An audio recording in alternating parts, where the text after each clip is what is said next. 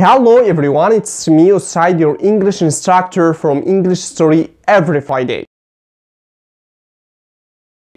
So, as long as you heard the whole story, right now it's time for covering the new vocabs. So, pay attention. Exclaim, exclaim, to say or shout something suddenly because of fear, pleasure, surprise, etc.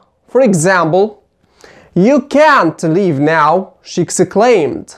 Thrill, thrill, a feeling of extreme excitement, usually caused by something pleasant. For example, the thrill of winning a competition.